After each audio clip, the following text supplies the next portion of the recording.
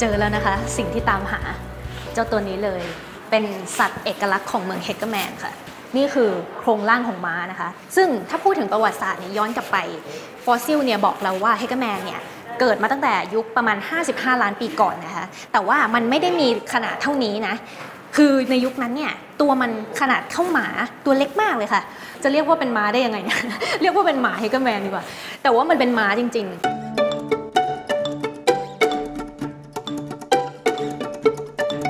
มาเริ่มที่อันนี้ค่ะ นี่กระดูกชิ้นแรก มันเป็นของเจ้าไฮโ r โคเ h เรียมย้อนเวลากลับไปนะคะ 55 ล้านปีก่อน ภูมิประเทศที่เจ้าตัวนี้อยู่เนี่ยเป็นป่าทึบ แล้วก็มีแหล่งน้ำเขาก็มาอยู่ตรงนั้น หลังจากนั้นเมื่อเวลาผ่านไปอีก เจ้าตัวนี้เนี่ยก็เป็นนักเดินทางค่ะ เขาก็เริ่มอพยพมา แล้วก็มาอยู่ในบริเวณนี้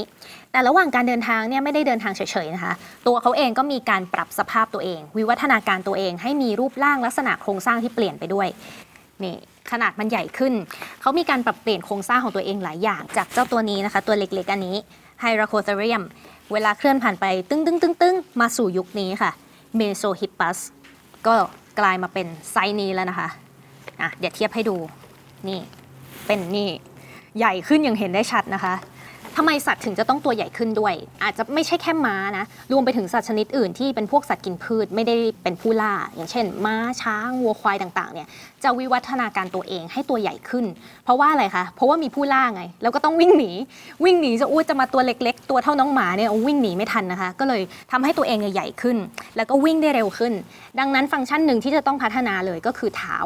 สมัยก่อนเนี่ยอย่างเจ้าตัวนี้เนี่ยจะมีเท้าอยู่ 3 กีบ แต่ว่าหลังๆมาบอกโหเดี๋ยวมันวิ่งช้ามันเทอะทะ ก็เลยมีการปรับให้เท้าเนี่ยจาก 3 เหลือ 1 พอเป็น 1 กีบ ซึ่งเท้า 1 กีบเนี่ยเราไปสังเกตมาปัจจุบัน เราก็จะเห็นว่าอะมันมี 1 กีบเหมือนกัน แต่ว่าเจ้าตัวนี้เนี่ยก็ยังไม่ใช่ม้า Hagerman นะคะ เวลาจะต้องเคลื่อนผ่านไปอีกนะคะตืดไปจนถึงนี่ Equus ถึงจะเป็นสายพันธุ์ของม้า Hagermanแต่ว่ามีจุดหนึ่งค่ะที่แพทย์สนใจมาก ข้างๆม้า Hagerman เนี่ยนะคะเวลาไล่เลี่ยกันเลย จะมีม้าอีกสายพันธุ์หนึ่ง ชื่อว่า Pliohippus มันจะมีลักษณะที่โดดเด่นก็คือเนี่ยค่ะเห็นบริเวณหางไหมมันจะเป็นคล้ายๆกับม้าลาย ดังนั้นเนี่ยมันไม่ใช่บรรพบุรุษของม้าเท่านั้น แต่ก็ยังเป็นบรรพบุรุษของม้าลายด้วย เราต้องย้อนกลับไปนะคะนึกภาพดูสมัยก่อนเนี่ยโลกของเราเนี่ยจะมีทวีปใหญ่ ๆ Pangaeaทวีปทุกอย่างติดกันหมด เอเชีย แอฟริกา ยุโรป หรืออเมริกาล้วนเป็นแผ่นดินเดียวกัน ก่อนที่มันจะค่อยๆ แยกออกไป ดังนั้นเนี่ยสัตว์หรือว่าคนเองก็ตามเนี่ยก็มีการอพยพข้ามกันไปมา เขาเรียกว่า bridge land หรือว่าสะพานแผ่นดิน เจ้าตัวนี้เนี่ยบรรพบุรุษของม้าลายเนี่ยมันก็ข้ามมาแอฟริกา รวมถึงม้า ม้ามันก็อพยพไปจากตรงนี้ไปเอเชียไปยุโรปนะคะกลายมาเป็นต้นกำเนิดสายพันธุ์ของม้าในส่วนต่างๆ ของโลก เพราะว่าสมัยก่อนทุกอย่างเชื่อมต่อกันหมด ดังนั้นเนี่ยอันนี้ก็เป็นหนึ่งในสายพันธุ์มาที่เก่าแก่มากๆ แล้วก็เรียกว่าเป็นบรรพบุรุษของมาในปัจจุบัน